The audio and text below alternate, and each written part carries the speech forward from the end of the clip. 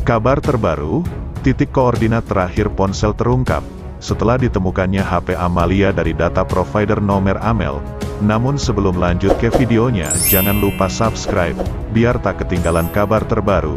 Jika sudah mari ke videonya. Diketahui korban kasus Subang Amalia, ternyata memiliki tiga ponsel yakni Samsung M12, iPhone 12 dan iPad, semua ponsel tersebut hilang setelah penemuan korban di dalam bagasi mobil Alphard. Sementara itu Anjas di Thailand membeberkan posisi ponsel Amel setelah pembunuhan itu terjadi. Dari seseorang, Anjas mendapat informasi tentang ponsel Amel yang menghubunginya lewat via Instagram.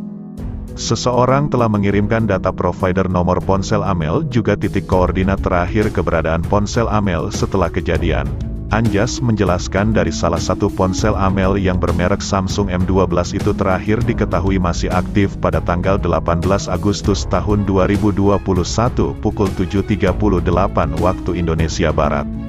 Maka Anjas dari data itu mengurai kronologi kejadian sebelum dan setelah jam tersebut.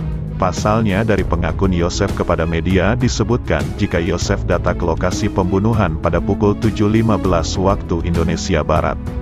Saat itu juga Yosef pada pukul 7.24 menelpon Amel untuk memastikan posisi parkir mobil Alphard yang tidak seperti biasanya. Tetapi Yosef mengaku Amel tidak bisa dihubungi hilang komunikasi dengan Amel. Selanjutnya Yosef menghubungi Yoris, sekitar pukul 7.26 dan saat itu diangkat. Istri Yoris yakni Yanti. Lalu Yosef langsung menemui Mang Ujang untuk mengabarkan kondisi keluarganya di rumah.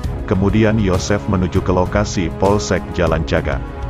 Dari hasil kronologis ini lalu dicocokkan posisi koordinator ponsel Amel terakhir, sebelum korban ditemukan, yang mengejutkan, ternyata posisi ponsel Amel berada di tengah-tengah antara Polsek Jalan Jaga dengan rumah lokasi TKP. Ada pertanyaan, apakah itu berarti ponsel Amel dibawa Yosef atau posisi ponsel itu dilewati Yosef? Sementara Anjas enggan memastikannya, tentang pertanyaan tersebut.